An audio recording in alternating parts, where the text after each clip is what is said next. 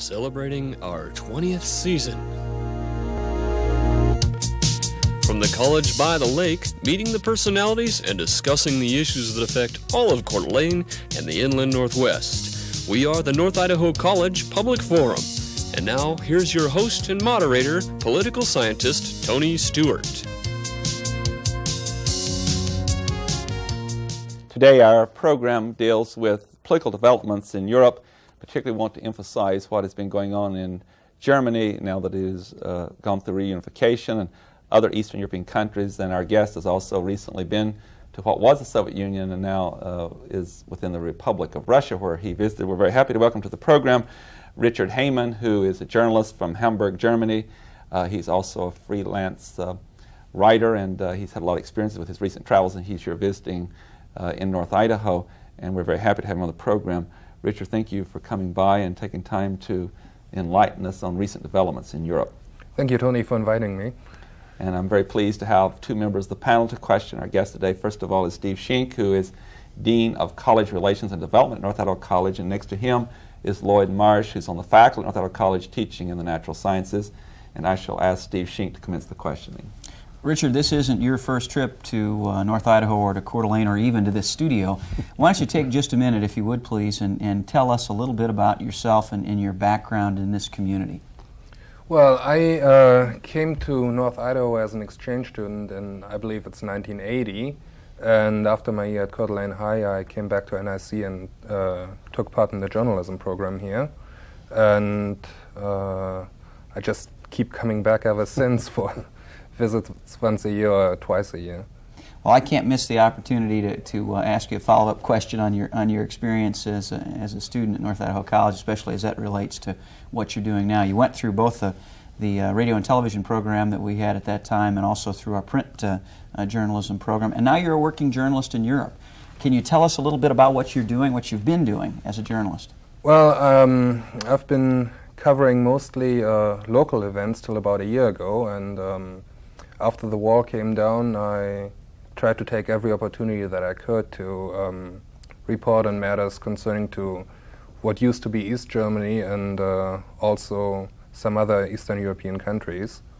Um, I guess being uh, over here in the US for quite a few years helped me to get into the different cultures too that people have in Eastern Europe and uh, I guess it just made life easier in communicating with those people, even though I don't speak Russian or any other language there. Are you working as a print journalist or a broadcast journalist now? I'm working as a print journalist. And is it for a, a German magazine? It's uh, for a weekly paper, which I guess is similar to a magazine over here. Lloyd Marsh. Well, I'd like to, to get into the situation in Germany now since the reunification. Um, First of all, is there free access now from east to west and west to east? And people that lived, formerly lived in the East Germany, uh, have free access to the western side now? Oh, certainly. Uh, as a matter of fact, you have quite a few people from East Germany moving towards West Germany and looking for jobs there. The unemployment rate in East Germany at this point is, well, the official government uh, figures state about 20 to 25 percent. Yeah. The actual number is probably more around 50 percent yeah. uh, because a lot of people are actually being laid off work but still considered as being employed. Yes, and, and I would imagine that no one is seeking to go from west to east, or at least not too many people. Well, uh, not too many people, but of course, uh, some uh, companies from West Germany that are setting up offices over in the east uh, usually take their own people with them, oh, uh, which is kind of bad because it doesn't really help uh, with the unemployment situation in East Germany. Mm-hmm. Has there been any migration of people that formerly lived in the east or the west to the other side? In other words, if people that were displaced and ended up in West Germany want to go back to East Germany where their roots, where they were born? Is well, for the most part, it's uh, you just have people from the east coming to the west I at see. this point. I see. Yeah. Wonderful. Tony. Uh, Richard, I have some questions that I've been following recently, and I know you have some opinions and concerns.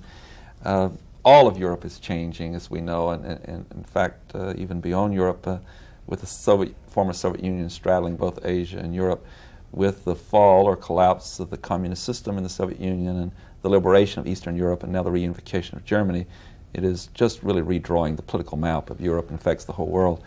Uh, in Germany, with the reunification uh, and with an experiment that's been, been very effective with uh, democracy and multi-political party system since the end of World War II, uh, certainly East Germany is coming under that umbrella of, of, that democratic process. But we read a lot about recently uh, growth of uh, the skinhead movement, the racist skinhead movement in Germany, like there's been a problem in this country. Uh, we also have seen some uh, neo-Nazi groups and individuals in literature, even a connection between the United States uh, neo-Nazi movement and in Germany. And with that background, would you enlighten our audience to uh, what is happening and what's your concern in relation to that particular issue in Germany at this time? Well, I guess um, the problem is with a lot of people losing their jobs. Uh, they become very upset, they become very angry, and uh, they just tend to follow whoever seems to be preaching an easy answer out of the problem. And uh, radical groups, I guess, seem to have the easy answer. Um, so, of course, you have a lot of young, discouraged East German people uh, who now tend to go to right wing parties. Can I interrupt to say, when you say young people, what kind of numbers are we talking about? Uh, how, how large is the movement? Well, I was just going to get to that. Um, I would figure you're talking about maybe five to 8,000 people, uh, which seems to be a really small number. But on the other hand, uh, the total population of East Germany was only 16 to 17 million people. So it actually it's uh, you know quite a large group. And of course, you have um, also some normal kids who kind of follow into that. Um, I don't know, if skinheads go out and uh, start to pick fights with minorities, you're going to have other uh, young people who are not skinheads also joining them in this cause. In relation to that, how is the general population responding to uh, this growing movement and violence by this youth group? Well, you have protests uh, rising for the most part in Western Germany. Uh, I guess the problem in East, or where the problem comes from in East Germany, is uh, the East German government always proclaimed uh, internationalism. They would uh, bring guest workers in from Cuba, Angola, uh, Vietnam, but they would just set them up in houses that were outside of the usual city limits, and there really was not much contact between the East German people and those foreign guest workers. And um, so, to the average East German person, a foreigner is foreign. Uh, you know, they just see this guy has a different skin. Uh, he has habits that they don't have, and there's really no understanding between those two groups. But the counter movement, you say, is more in, in West it's Germany? more in West Germany. Okay. Steve Sheen. Richard, how international is Germany as a country, the, the uh, unified, reunified Germany? I mean, are there large ethnic populations, non European ethnic, ethnic populations in the country? Well, West Germany uh, had foreign guest workers since about the 1950s. Um, we have quite a large group of Turkish people living in West Germany. We have a relatively large group of Italian and uh, Yugoslavian and Spanish people living there also. Now, the uh, tensions between, I guess, the Germans and the foreigners uh, in West Germany were never even close to becoming as great as they are now in East Germany. As a journalist, um, you, you, already mentioned uh, that uh, uh, the, the, your estimate of the number of, of people involved in radical political groups in in Germany is, bit, is about 5,000. Uh, are they getting more attention in Germany? Uh, are they getting more attention uh, throughout the, the, the, rest of the, of the Western world than you think the numbers justify? Well, it's a tough question. Uh, of course, whenever you report on the things that they're doing, it's uh, you know in a way free, uh, free advertisement for them. on the other hand, I don't think the subject should be taken lightly and ignored completely. Uh, I think the reporting just you know should be done in such a manner that it doesn't draw more people following that movement. I've got to ask one other question about journalism, and then I'll and I'll let the questioning pass along. Um, you've had an opportunity to work extensively in, in East Germany as part of your your uh, your work as a journalist. Um, free press, I, I, I, would imagine, is something that's pretty new to those to those people. Uh, have have you uh, have you found that in other areas where there's a little bit of culture shock due to the to the reunification of the countries, or, or are, are East Germans uh, very accepting of the, of the, Western lifestyle that's been opened up since the wall came down? Well, I would say they uh, in the beginning they just adopted everything. Uh, whatever was whatever came in from the West uh, was good. it got to the point that they would not buy any products that were made in East Germany, which then again, you know, caused even more unemployment there. Uh, in the last couple of months, uh, this has kind of changed. The East Germans now are, I guess, try to look out when they go to a store that they would buy more products that are actually made in East Germany. Um, there's this awareness now that not everything that comes in from the West is really as good as it you know looked in the first place. Hmm. Lloyd Marsh. Uh, I'm interested. You uh, have traveled recently in the former Soviet Union, I understand, and uh, is is Germany, West Germany, because they have the wherewithal to get there? Are they taking an active role in the conversion of some of the former Soviet republics and now as they evolve into a capitalist society? Is Germany very active in this role? Well, um, basically what we're doing, we are uh, supporting uh, yeah, the former Soviet Union financially to a relatively large extent. Um, what our paper did in particular was a food drive up to a city called Viborg, which is north of Leningrad. Um, we packed, I guess, three uh, cargo containers full of food and medical supplies and uh, brought them in there in December. And uh, what was kind of an interesting observation as we uh, crossed from Finland into Russia was about a 60 to 70 mile drive, and along that road you saw about every five minutes a Soviet army truck that was broken down, uh, just laying there, and some soldiers were out there trying to salvage parts. Um, my understanding is that uh, basically there's enough food available in the former Soviet Union, but the problem is they don't have any means of transportation in getting it from point A to point B. And um, I kind of have uh, double thoughts of whether we are really helping the people over there by bringing food. Um, the more food we bring in, the less their farmers will actually uh, be able to sell. Um, I think the answer would rather be uh, giving them their own means to transport their own foods from one point to the other. Mm. Yes, and, and that sort of prompts the next question is uh, establishing the infrastructure uh, to run a country in a capitalist environment. Uh, I would think that West Germany has a lot of experience. They were very successful as a capitalist society. And do, do you see the West German business people getting in and establishing the infrastructure? in the former Soviet Union? Well, at this point, we uh, still have quite a few difficulties in installing uh, the infrastructure into East Germany. Mm. Um, people have been thinking along bureaucratic lines for 40 years in East Germany, which makes it very difficult to basically retrain them now into our kind of thinking. Now, in Russia, uh, it has not been 40 years, but 70 to 80 years and that makes the problem that much more difficult. Now, on top of that, um, and I guess it doesn't make a difference whether it's a German or an American or a British person coming in, but everybody uh, from Western countries, uh, you know, were considered enemies for quite a long time, and um, you know those people have to rethink too now that you know who used to be your foe is now your friend. Now you know they have some problems dealing with that too. Amazing. Tony. Richard, another place that you've been visiting is a number of the Eastern European countries, such as Poland and um, Czechoslovakia and others.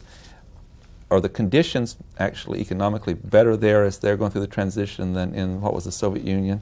What did you find on your visit?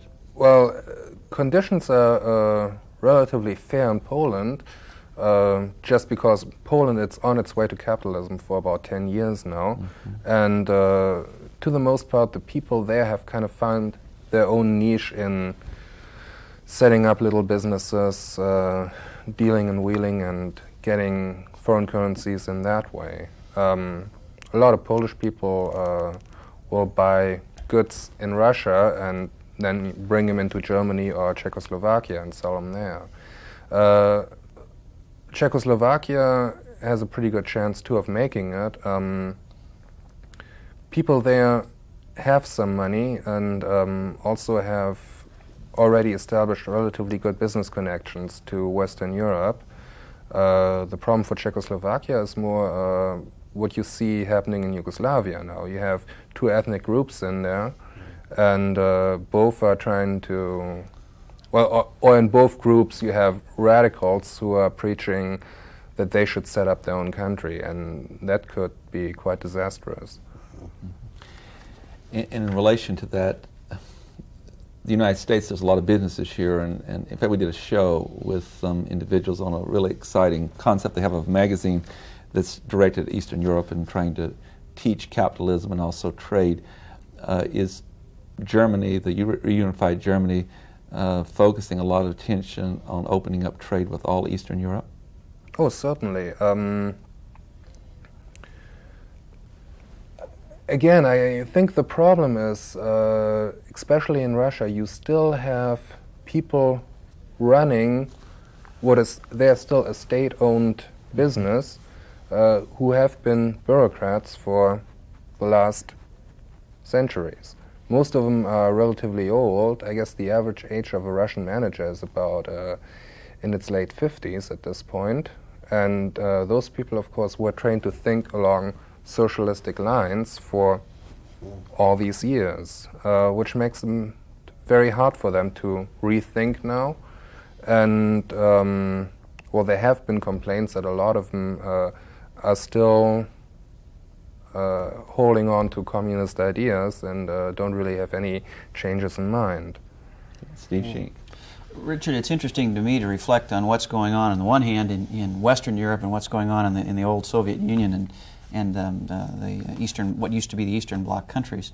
It seems to me that that uh, Western Europe is moving more and more toward, um, um, and and I and I'm probably jumping ahead here to, to suggest that we're going to break down national barriers, but there's talk of a of a common currency. Uh, certainly, the economic European economic community is, is, is growing in strength. There's a tunnel that joins uh, hmm. rail and automobile tunnel that joins England and France. On the other hand, it seems that uh, in the Soviet Union, the old Soviet Union, certainly, and, and even in some of the Eastern Bloc countries, that uh, there's a danger, if you want to look at it that way, that uh, that those, those what were those nations are going to break into smaller and smaller geographic and ethnic groups what do you see happening there? Is it, and is it good or bad that, that, that breakup? And what do you see happening on, on, the, other, on the other hand in, in Western Europe where people are, seem to be moving closer and closer together?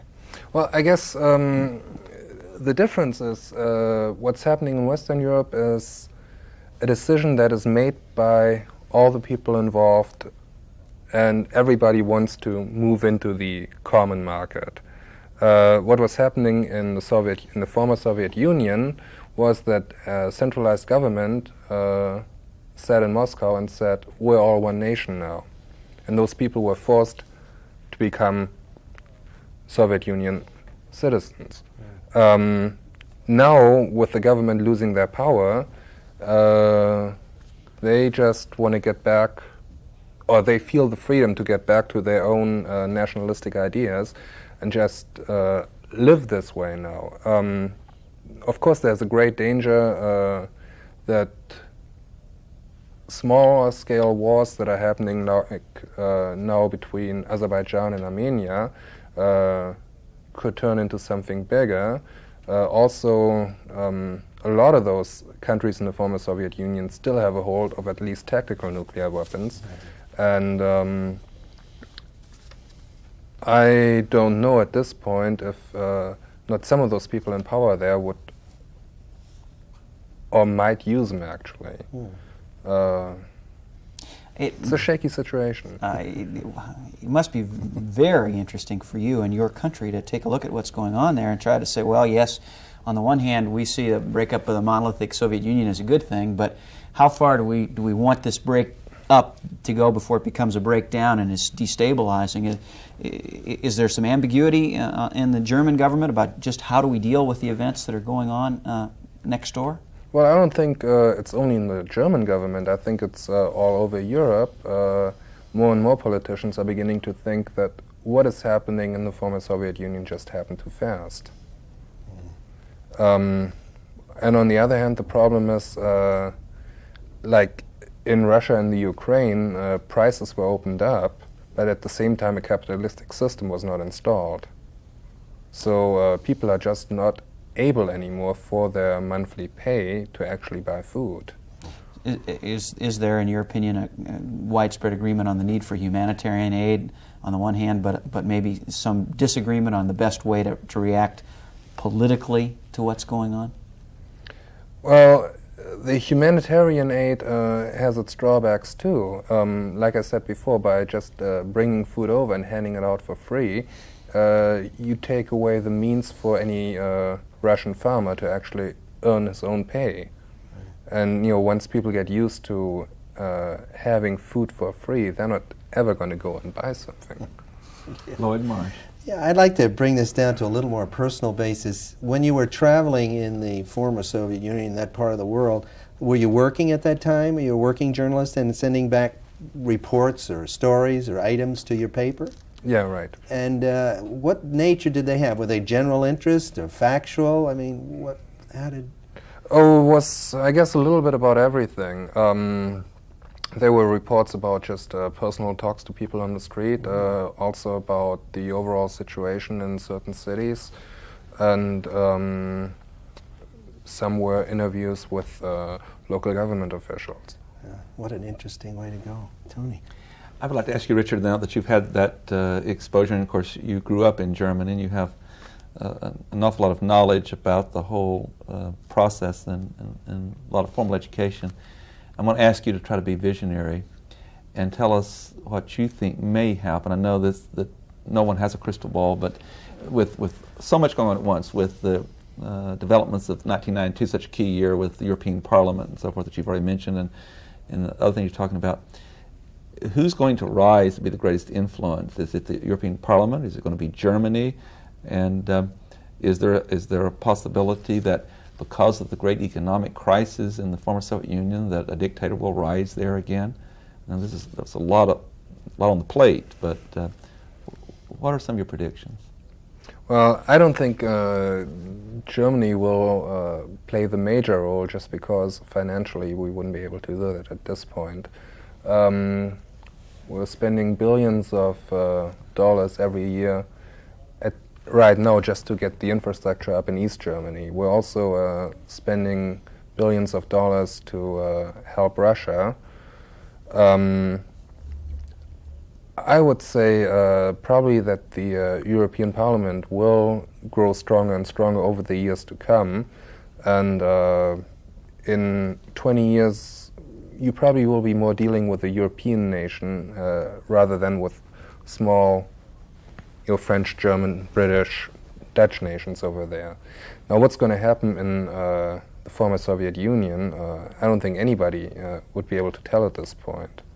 You could have a dictator rising up just as you could have a lot of small nations. It's just very delicate at this point and very crucial. Do you think Germany will remain in the European Parliament and Common Market, or, or as you've become reunified and, and once you get your infrastructure in place and so forth and you're economically strong, do you think Germany would be tempted to go its own course? Well, I think Germany uh, could just profit from being in the European Common Market. Um, the one nation where I would say they might drop out would be England. Mm-hmm. You know, there's still some hesitation there. There's been more opposition there than in right. other countries, haven't there? Another thing we hear so much about, and you might have picked up on this with some of your interviews, and, and Steve was just very articulate in pointing out that the breakup could be uh, so decentralized that there'd be uh, instability in all of Europe.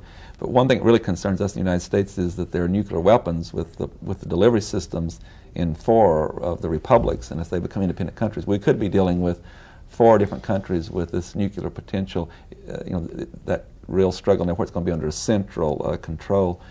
Uh, what are you hearing about that? Is um, um, and I know that our government and our Secretary of State and others have been very involved in trying to encourage a, a central control. Otherwise, that's an unusual way of having proliferation of nuclear weapons.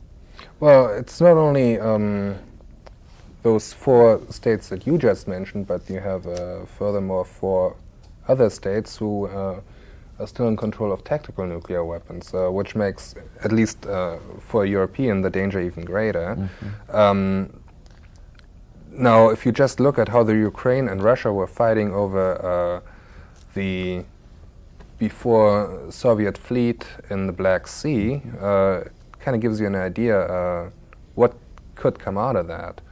I don't know if um, you know if all the conflicts are going to be settled peacefully or not.